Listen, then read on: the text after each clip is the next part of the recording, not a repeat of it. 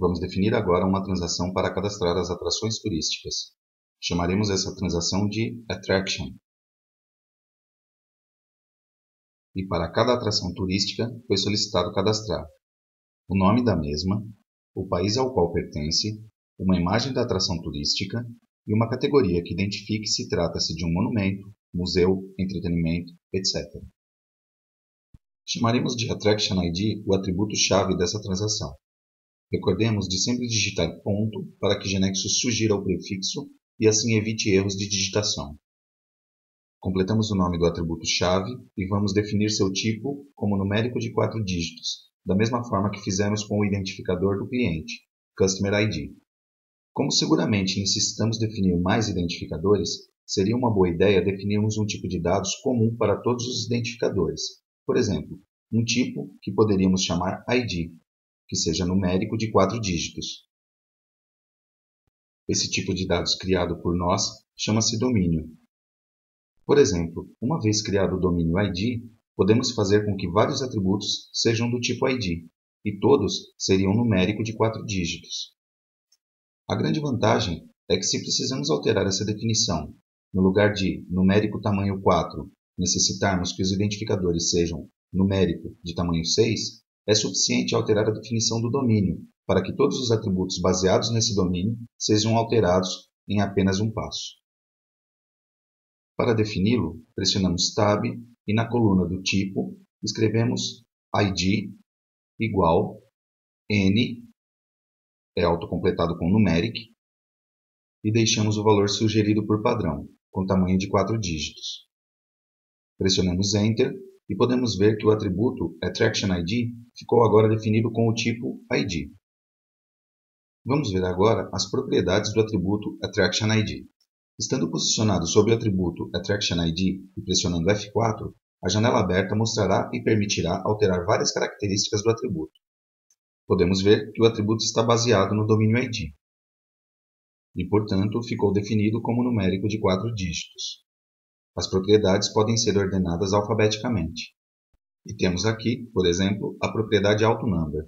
Essa propriedade, por padrão, tem o valor false.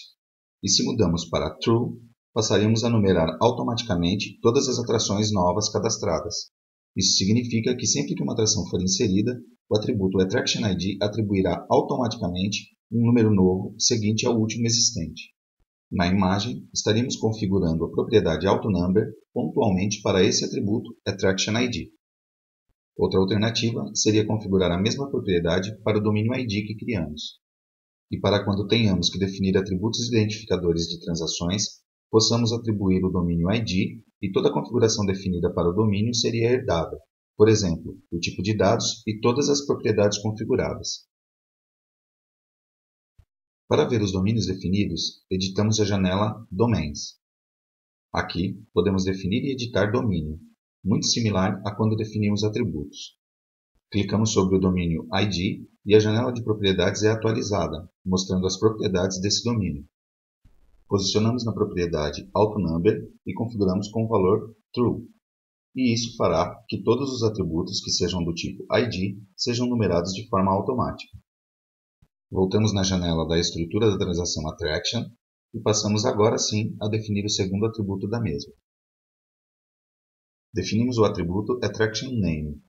Aqui também aproveitamos para criar o domínio Name, do tipo caractere e tamanho 50.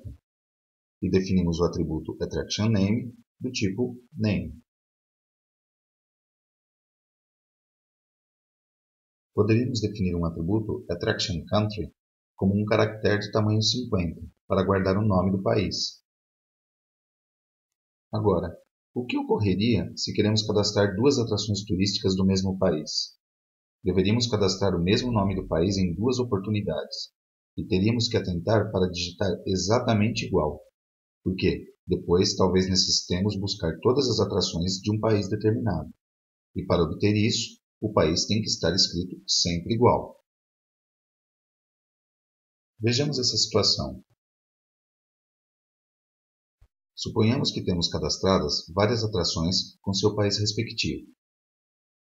Por exemplo, temos uma atração com identificador 1 de nome Museu do Louvre, que está na França, uma atração com identificador 2, que se chama Grande Muralha e está na China, e uma atração com o ID 3, a Torre Eiffel, que está também na França.